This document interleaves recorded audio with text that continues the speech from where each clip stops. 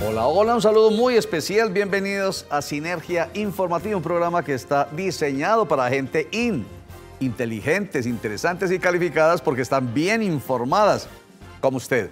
Personas que saben para qué es la información política, administrativa y de interés general. Las ramas del poder público que hacen parte de nuestro Estado de Derecho están siempre presentes en las decisiones más cercanas al ser humano. Todas las que tienen que ver con la seguridad, con la salud, las que tienen que ver con la educación, con el empleo, con todo, hasta con el mero hecho de conducir. Las ramas del poder público, recordémoslo siempre, están el Ejecutivo, Presidencia de la República, gobernaciones, alcaldías, está el Legislativo, Congreso de la República y el Judicial, que tiene que ver con las altas cortes, como por ejemplo lo que vamos a tocar hoy, Corte Constitucional. Bueno, entonces hecha la introducción de siempre, hacemos la presentación de nuestro invitado para que pongamos en práctica lo que siempre decimos aquí. Hasta el aire que respiramos tiene que ver con decisiones políticas y administrativas. Germán Guerrero, él es abogado penalista, bienvenido. Muchas gracias, Roger. Bueno, estamos hoy prestos a entrar a debatir este tema que se ha vuelto controversial en el país. ¿Cuál tema? El tema de las fotomultas, técnicamente llamadas fotodetecciones, que se están poniendo en práctica en nuestro país desde hace 13 años aproximadamente. Pero ahorita, recientemente, aparece un nuevo elemento. Es que la Corte Constitucional declaró inexequible, inconstitucional, un parágrafo de un artículo de la ley que tiene que ver con las cámaras de fotodetección en el país. Y entonces eso ha generado un montón de ruido. A ver si usted me ayuda para yo no hablar demasiado a recordar qué fue lo que dijo la Corte Constitucional. Bueno, claro que sí. Básicamente la decisión que saca la Corte Constitucional, que es de fecha 6 de febrero del presente año, establece y declara inexequible el parágrafo primero del artículo octavo de la Ley 1843 del año 2017. ¿Qué establecía ese parágrafo primero? Establecía un vínculo de solidaridad entre el propietario del vehículo y el conductor del mismo, de tal forma que cuando alguien era sancionado eh, por medio de las cámaras o los sistemas de cámaras de fotodetección, pues indiscutiblemente la multa, ¿a quién le iba a llegar? Al propietario del vehículo. ¿Qué dice la Corte Constitucional? Se debe sancionar directamente, es al infractor y no necesariamente al propietario, porque no necesariamente el propietario es el que va conduciendo. Esa es la decisión que ha causado polémica y revuelo en el país. Yo quiero que veamos incluso para mayor tranquilidad, porque usted es abogado, pues yo también tengo formación en, eh, jurídica, pero nuestros televidentes muchos no. Entonces, la medida que les entre por los ojos, saben exactamente de lo, que usted está hablando y vamos a comenzar enseguida. Veamos esta imagen. Aquí, mire, esa es la ley, la 1843 de 2017, por medio del cual, de la cual se regula la instalación y puesta en marcha de sistemas automáticos, semiautomáticos y otros medios tecnológicos para la detección de infracciones, entre ellos entonces las llamadas cámaras de fotodetección o fotomultas. Y ahí está el artículo 8 que habla del procedimiento, cómo es la forma en que se realiza el procedimiento para eh, eh, entregarle el comparendo a quien haya excedido, por ejemplo, el límite de velocidad iba a 70 kilómetros por hora cuando era a 60 kilómetros. Cuando no lleva, por ejemplo, el SOAT, no lo tiene actualizado. Cuando no tiene, por ejemplo, actualizada la, eh, ¿cómo se llama esto? La revisión técnico-mecánica, etcétera. Entonces, hasta el momento, sígale subiendo, por favor, este artículo 8, que no lo vamos a leer todo.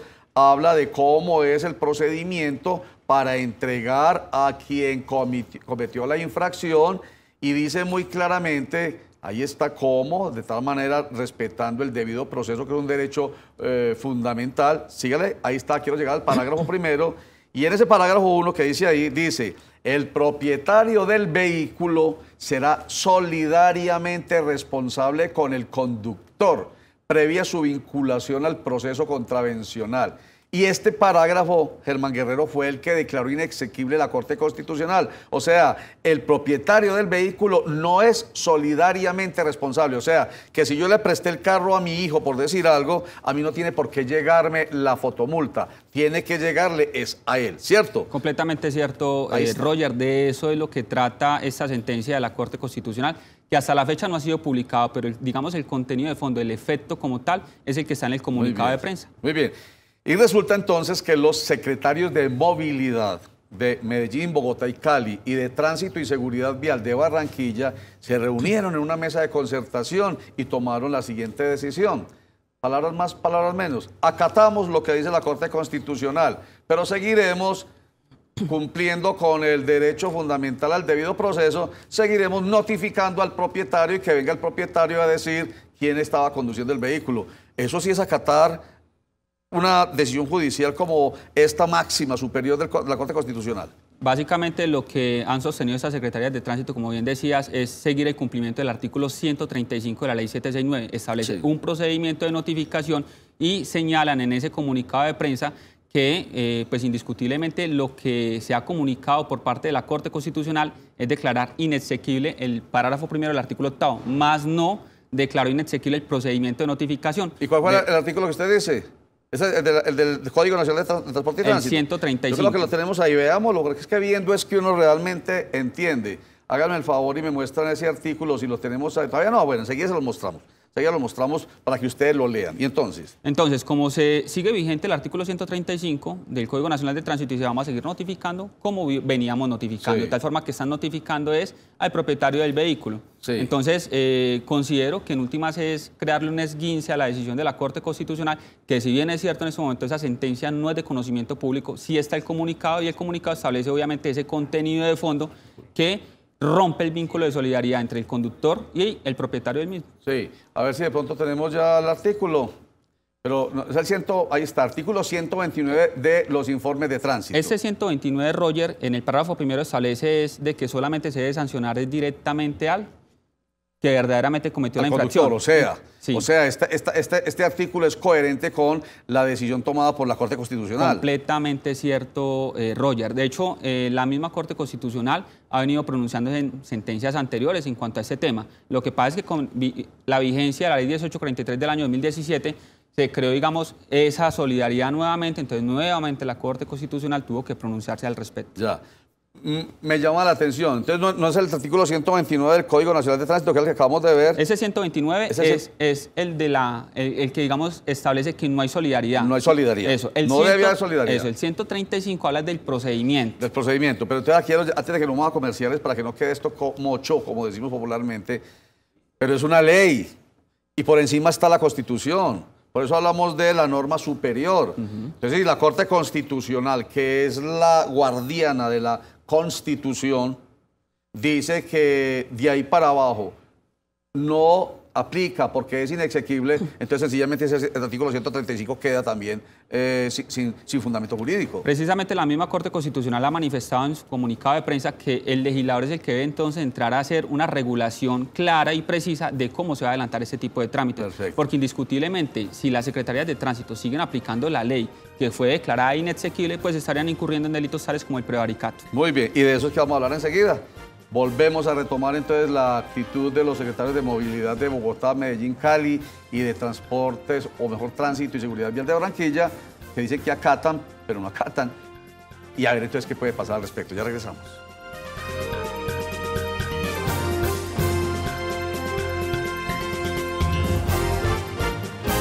Atención, distribuidores, constructores, mayoristas. De Corbeles tiene la solución. Paredes 3D Ventas al por mayor de pisos. Papel de colgadura. Cielos falsos en PVC.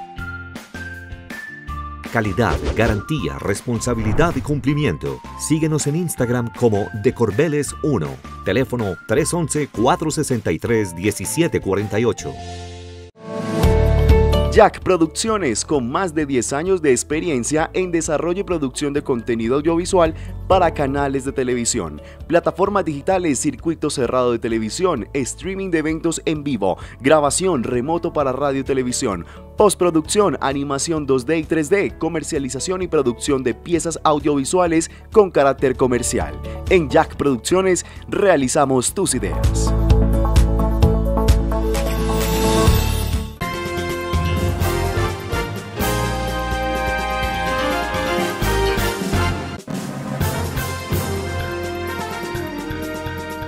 Estamos conversando con Germán Guerrero, él es abogado penalista y con él estamos analizando la situación que se ha suscitado después de que la Corte Constitucional ha dicho, mediante sentencia que todavía no conocemos, pero sabemos cuál es la intención de la misma, que no es solidario el propietario, y lo digo así masticadito para que no nos quede duda, no es solidario el propietario del vehículo con el conductor. La fotomulta tiene que ir dirigida a quien iba conduciendo el vehículo en el momento de la infracción. Así que no se le puede ah, llevar el comparendo al propietario, no, ni más ni menos.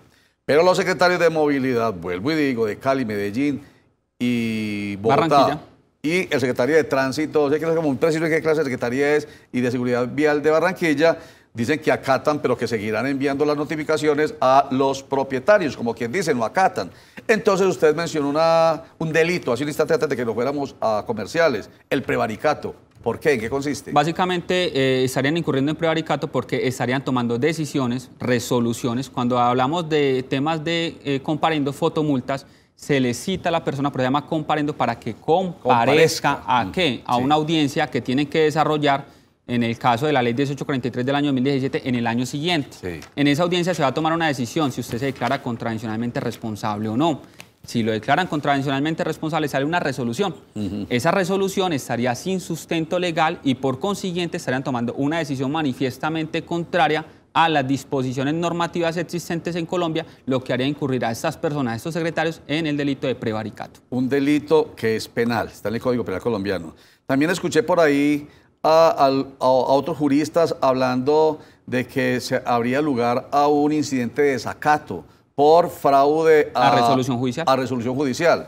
Eh, esa es otra manera, digamos, de atacar jurídicamente el desacato de los eh, secretarios que hemos mencionado. Atacar, digamos, ese desacato por parte de estos secretarios de tránsito eh, se puede también ir por esa vía del fraude a resolución judicial y adicionalmente, Roger, como son servidores públicos, entonces eh, esa investidura que tienen como tal permite acudir ante la Procuraduría e interponer las respectivas denuncias para que se investiguen disciplinariamente, porque el artículo 243 de la Constitución Política establece que las decisiones de la Corte Constitucional, eh, pues indiscutiblemente en este caso hacen tránsito a cosa juzgada constitucional, por consiguiente son de estricto cumplimiento.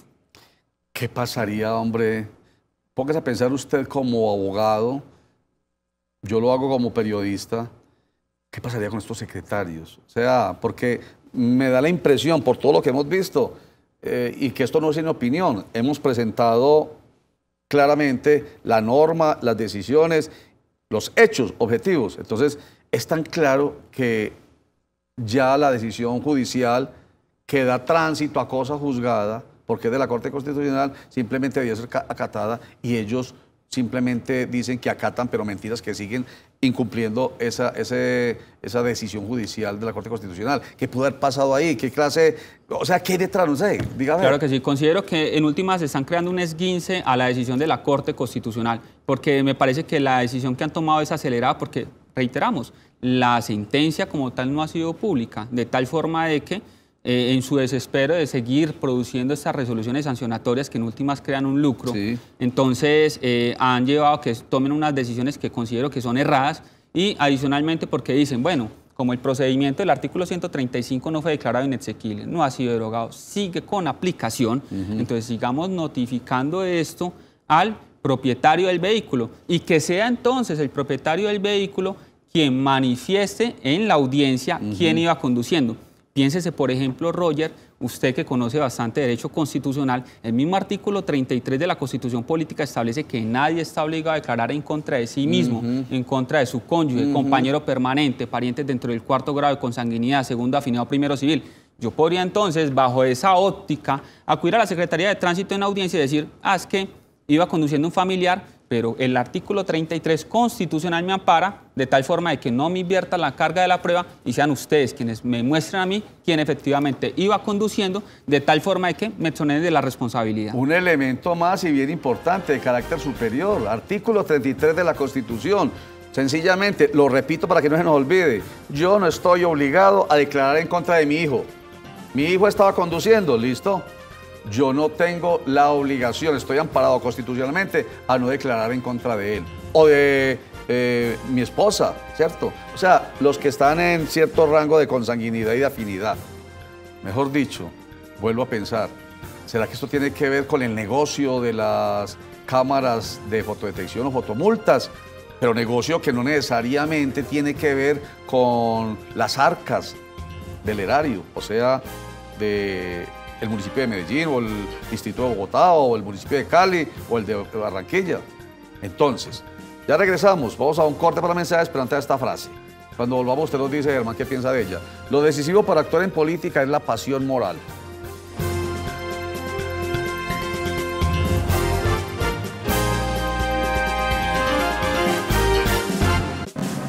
Hola, soy René. Por la pelota Marco, la sacó Guita en una locura, una maniobra increíble. Esa bola estaba en el... Y mando un saludo al canal CNC. Fuerte abrazo.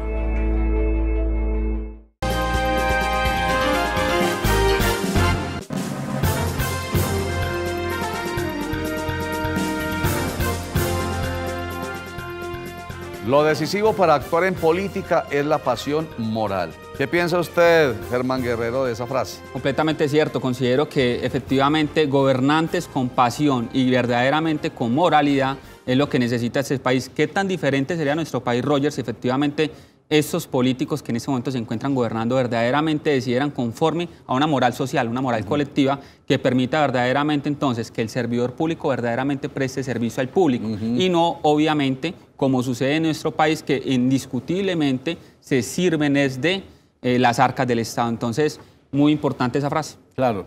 Y entonces eso me hace pensar en el último comentario que hice ahorita, que es suspicaz, la verdad, debo confesarlo y no es realmente de mi autoría, pero sino que es lo que se está eh, viviendo. viviendo y manifestando en algunos mentideros políticos y periodísticos. Cosa tan rara.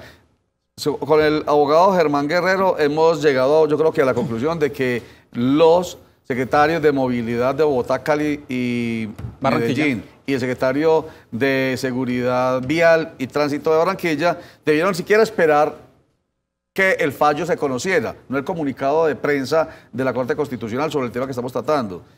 Corren a, hacer una mesa de trabajo para salir a, entre comillas, desacatar lo que la Corte Constitucional planteó. Entonces, lo de los mentiros políticos es, ¿qué tendrá que ver el negocio en que se ha convertido, porque eso sí es cierto, el, el tema de las fotomultas para particulares? Porque obviamente lo explotan particulares. Entonces, ¿qué tendrá que ver? Ahí es donde está la suspicacia. Claro que sí. Miremos, por ejemplo, eh, que la Secretaría de Tránsito de Villavicencio suspendieron este sistema de cámaras de fotodetección. ¿Por qué? O sea, porque, ellos sí lo acataron. Es correcto, porque es que la decisión de la Corte Constitucional, al permitir, digamos que solamente sea notificado ante este caso el infractor, y como no tienen la forma en este instante de individualizar al infractor, por ejemplo, piénsese el conductor que va en su, en su moto y lleva casco. Muy complejo, ¿cierto? Mm.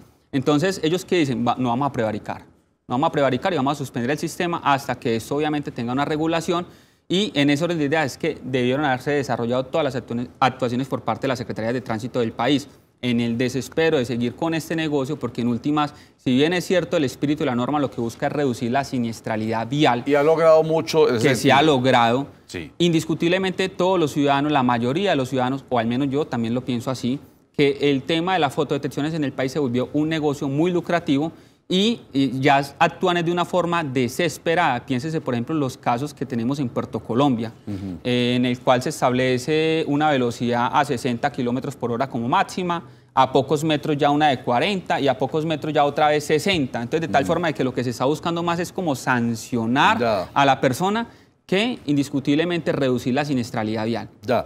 Eh, y pongamos ya terminando el programa al otro lado. Usted lo dijo, va un motociclista a 70 kilómetros por hora, debe ser 60 la velocidad y va con casco, además con casco cubierto. Además que yo no entiendo con los problemas de seguridad que hay en este país, los cascos cubiertos, o sea, no le ve la cara al que va ahí detrás. ¿Cómo hace entonces para aplicarse la sentencia constitucional? ¿O un vehículo con vidrios polarizados? ¿O alguien que va conduciendo con una cachucha y en la cara? Bueno, entonces ahí realmente entonces lo del, pensaría uno, lo de la Corte Constitucional es un canto a la bandera.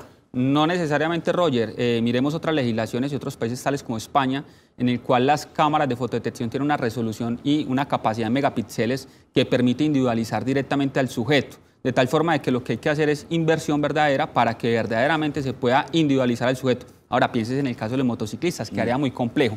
La misma Corte Constitucional ha manifestado que es que el hecho de las cámaras de fotodetección es un sistema auxiliar, auxiliar, porque los agentes de tránsito siguen existiendo, de tal forma que en ese caso los agentes de tránsito pueden cumplir con sus competencias y obviamente detener a la persona que probablemente, presuntamente esté cometiendo una infracción de tránsito. Por ejemplo, mm. el motociclista que va a exceso de velocidad, lo puede detener sin ningún inconveniente. Entonces, el sistema de fotodetección es un sistema auxiliar, los agentes de tránsito siguen operando de tal forma de que uno coayuda en la verificación de si existen o no, digamos, estas contravenciones de tránsito. Pero entonces ahí usted me pone en otro problema gravísimo, o pone mejor a las administraciones municipales en otro problema gravísimo, y es como sistema auxiliar, porque los agentes de tránsito deben estar ahí, pero es que los agentes de tránsito no están ahí. O sea, no hay un agente de tránsito, por lo menos aquí en el Valle de Aburrá, en Bogotá, en Medellín, yo no sé, la verdad, en Medellín no se ve un agente de tránsito en la calle, no sé dónde están. La verdad, se desaparecieron. Entonces. Analicemos precisamente que es un tema de ponderación. Entonces, hablemos entonces de sancionar a la, a la persona que presuntamente cometió una infracción, eh, como estaba anteriormente, es decir, con la ley 1843 del año 2017, con vigencia de ese parágrafo primero del artículo octavo, y poner a responder de forma objetiva a una persona que no cometió la infracción. Mm. Y como en Colombia está prohibida esa naturaleza de sanción, es decir, objetiva, solamente se puede sancionar verdaderamente a que cometió en este caso la infracción, entonces estaríamos rayando también con el debido proceso. Muy bien. Germán Guerrero, abogado penalista, quien nos da claridad sobre este tema tan importante, una decisión de la Corte Constitucional que aparentemente no ha sido acatada por funcionarios de movilidad y tránsito del país. Muchísimas gracias por estar con nosotros y pues mucha suerte en su actividad. Aquí lo estamos esperando con estos temas que yo sé que son del interés máximo de nuestros televidentes. Claro que sí. Muchas gracias, Roger, a usted y a todo su equipo de trabajo. Estamos aquí siempre prestos para resolver todas las dudas e inquietudes que tengan todos ustedes. Muchas gracias. Por eso es importante creer, creer en nuestras ramas del poder público. Están desprestigiadas, sí, pero vea, eh, ellas y sus decisiones tienen que ver con interés, el particular y el, y el general. Y por supuesto con nuestro bolsillo. Sinergia informativa para personas inteligentes, interesantes y calificadas como usted. Gracias. Chao.